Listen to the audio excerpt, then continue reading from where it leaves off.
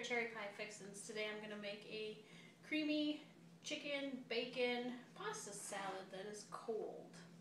So we're going to put our one tablespoon of milk, half a cup of Miracle Whip,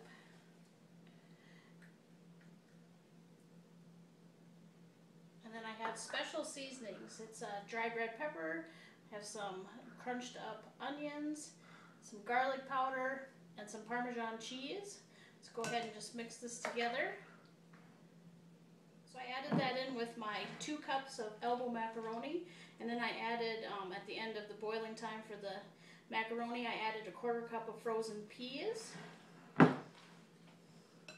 we got half a cup of tomatoes, fill her out, quarter cup of bacon, two thirds cup of chicken, and a cup of spinach. Go ahead and add that together. So here it is all mixed together. I fried up the bacon in my uh, cast iron skillet and then after that I cut my chicken up and I threw that into the bacon grease. It gives it a little bit more of a flavor. And then once you uh, refrigerate this for an hour, go ahead and top it with croutons and serve.